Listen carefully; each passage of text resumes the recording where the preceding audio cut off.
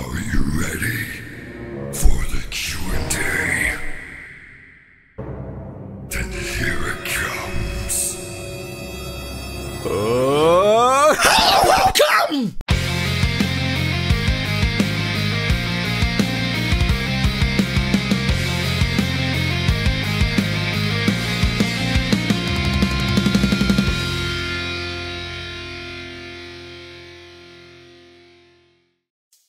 going on everyone? My name is Ultrasonic Hero and welcome to a brand new Ask Ultra episode.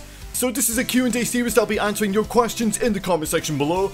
And once again, I wanted to give a big, tremendous thank you to each and every one of you for getting this channel up to 4k subscribers.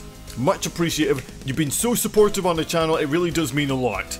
So, I'm going to be doing the usual. I'm just going to be answering your questions in the comment section below and I'll try my damnedest to read them out clear. And if I don't, my apologies. You can slap me so in the comment section below. There you go. That was horrible rhyming, by the way. I'm sorry. okay, let's just get to reading them. We have a question from Leo Andrews and he asks, What is your name? If you're asking about my real name, no. My nickname is Ultra. That's all you're gonna get. Goodbye, thank you, end of story. Right, we have a question from Cindy Angel Girl, and she asks The battle between Neon and Orange was awesome and intense. Which Sonic team do you like and dislike? Ooh, good question. Um, I know one of the Sonic games that I really love, and that happens to be Sonic Mania, because you get to play as Mighty and Ray, and there's Encore mode, which is a really challenging difficulty game. Um, the Sonic game that I really dislike, of course, is just uh, Sonic Boom Rise of Lyric, because the game is just underwhelming, it's not properly executed, and there was so much lagging, it just ruined the experience for me years back. It was just, it was just so underwhelming, that's all I'm gonna say. So, thank you for your question. Our next question comes from Blue Hedgehog Command 17, and he asks, What was your very first Sonic the Hedgehog game you played, and what genuinely got you into gaming? Good question. Uh, the very first Sonic game that I played was the very first Sonic game, again, from 1991. It was a really good game, and then there was Sonic the Hedgehog 2, I remember playing it on the Mega Drive 2. Those games not only inspired me as a musician or a voice actor, but they inspired me to play a lot more Sonic games, and non-Sonic. So I was a, a really huge fan back in the day. And I believe I was about 4 or 5 years old. I can't honestly remember, but I know that I was a, a kid back then. The next question comes from Pack Sonic Gaming, and he asks, After you finished the Wii game of Sonic Unleashed, how do you rate the game out of 10 and why? I believe I answered that in one of the live streams of Sonic Unleashed, so I give that game an 8.5 out of 10. The story that I loved, and it's not just a story that was really intriguing, but um, the gameplay overall, it was really fun. You know, when you're playing as just a, just a normal Sonic, when you're boosting, hitting badniks. Uh, the Werehog, on the other hand, it was difficult to control and to maneuver, because the controls gave me quite a workout, not gonna lie. Uh, it did give me a workout, but it was a bit frustrating. I mean, it may not be the best Sonic game that I've played, but Sonic Unleashed is a really great game in my book. Not perfect, but again, great. Our next question comes from Avatarian Destiny, and he asks, What is your favourite Sonic music remix that you've ever heard and why? And here's the twist, it can't be from your channel. Sorry, but your remixes are so freaking awesome. Thank you for the compliment. And to answer your question, I think one of my favourite remixes um, from the Sonic music has to be... Now, I'm trying to remember the name of the artist, because he did a remix of um, Press Garden Act 2. I might have to look it up for just one second. It's such a banger, not gonna lie. Uh, here we go. So this was made by James Landino.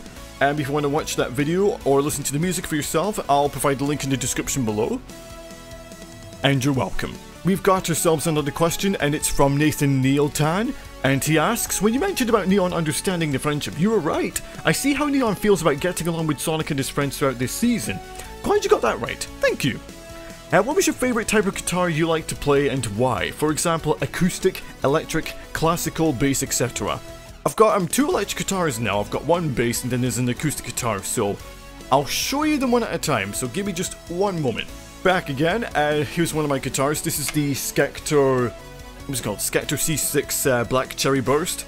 So the distortion on this is really good, and this was about £400, so I got this in mid-January, and there's the, uh, the head of it.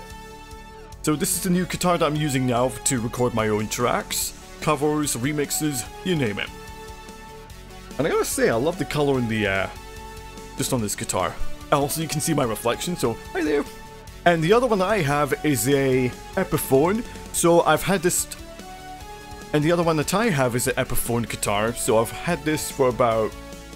I don't know how long, I think three years? Three or four years? I honestly don't know, but this is a really good guitar. I've also inserted the, uh, Seymour Duncan uh, distortion humbuckers and then the pickups. Pickups humbuckers. Oh my god, I'm such an idiot. So I've actually inserted them just to improve the distortion. Because the one flaw that I do have with this guitar is that there's too much like a uh, fuzzy and distorted feedback, which is rather annoying. So th this is the reason why I wanted to get a different guitar that doesn't have like too much distortion, because then it kind of ruins the track in some way. And here is my acoustic guitar. This is the Epiphone. I've had that for probably half a decade. It looks a little bit old, but I still use it to record my own tracks, especially if it's acoustic. So I'll let you, I'll let you listen to this just a little bit. So that's what it sounds like when you're playing acoustic. And this is just a standard bass guitar that I've got. I think the brand of it is a Fender? Actually, let me see if I can show this up on the webcam if I can. Give me a moment. Wait, where is it? Uh, oh no, it's not. It's not Fender. Uh, it's a Rockburn. It's a Rockburn bass guitar. So I don't use it that much. Because normally when I'm trying to record bass, I just use the keyboard to play the bass. Because I'm not really that good at playing the bass. I mean, it's different compared to playing the guitar. Because the bass has four strings and the electric has six strings. I mean, it sounds okay. Let's just have a little play. Right, I've also got two different keyboards. One of them is a Yamaha and the other one is a Roland. I mean, the Roland has this whammy bar thing that actually changes the pitch and the tune of the instrument. But if I had to pick my favourite instrument overall, I would have to pick the Schecter C6 Black Cherry Burst guitar because the distortion and the audio quality is just amazing. No questions asked, no doubt about it, no hesitation. Thank you for your question. We have a question from TPO Gaming and he asks, What do you think of Sonic Frontiers so far and rate a score out of 10 please? Alright, well, Sonic Frontiers was a great game to be honest. Maybe not perfect, but it's a great game in my book. And for that reason, I'll give this game an 8.5 out of 10, and not just because that I love the story but that was made by Ian Flynn, so ramble applause to him, he did a terrific job. But also to the developers that gave this game such care and attention. I mean, the mechanics may not be perfect, but overall, like, it's a passable effort. It's really passable. And also, I just want to point out that the trailers are just so eye-catching, they're just so elegant to the eye. Especially in CGI, so Applause to them as well. Good job. And last but not least, we have the pinned comment by Lucas RPDJ, the most amazing animator on this platform today. And he says and asks, once again, these reactions are golden, and yeah, I'm happy to know that the thing about Neon discovering friendship is understandable. I sometimes fear that something is misunderstood with no dialogues, but I'm reassured to hear that from you, thanks. You're more than welcome, and thank you. And if I can contribute to your Ask Ultra video, how did you learn to make music? Did you follow lessons or learn by yourself? If this one wasn't asked yet. Good question. So I've got a few answers to answer your question. Um, I think when I was about 14, I learned how to play the drums. A little bit complicated for me, but I actually got the hang of it. And I was about I was I was a bit of a childish brat to be honest. I was really childish. Um, and I think I remembered when I was at the age of 22? Yeah, 22. Um, a good friend of mine named Martin, aka Cormars, he actually taught me how to produce my own music by doing uh, compressors, EQs, noise gates. There's a lot of effects that you can use to adjust and experiment with your own instruments. So I gotta give a shout out to him because he's he's taught me so much being a musician.